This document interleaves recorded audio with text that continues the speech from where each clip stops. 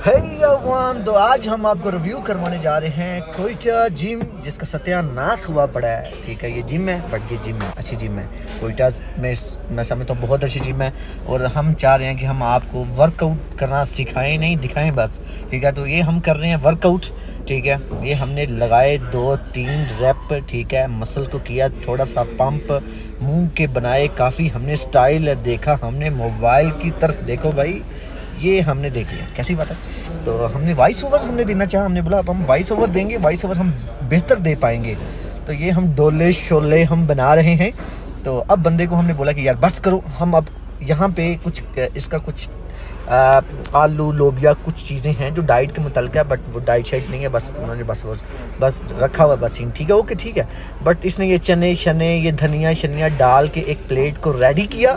Ready करने के बाद आ गई प्लेट और प्लेट का हमने जब लिया एक चम्मच इसको कुछ भी कह लें तो हाँ हाँ मुँह ऐसे हमने हिलाया थोड़ा सा हाँ।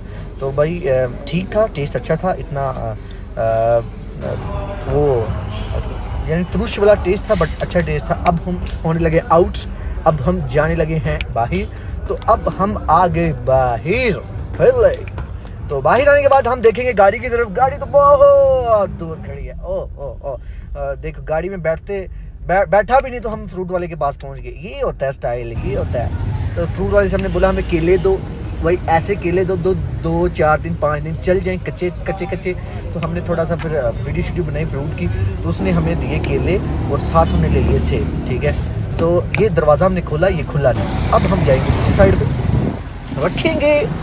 फ्रूट दूसरी सीट पे और जलाएँगे साथ लाइट दिखाएँगे गाड़ी का रिव्यू विद हम टिशू शिशु विद प्याज, टमाटर भी हमने साथ साथ लिए हैं, ठीक है?